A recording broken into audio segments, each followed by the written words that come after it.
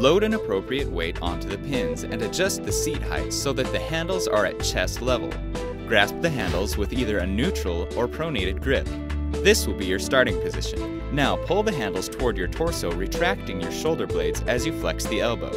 Pause at the bottom of the motion and then slowly return the handles to the starting position.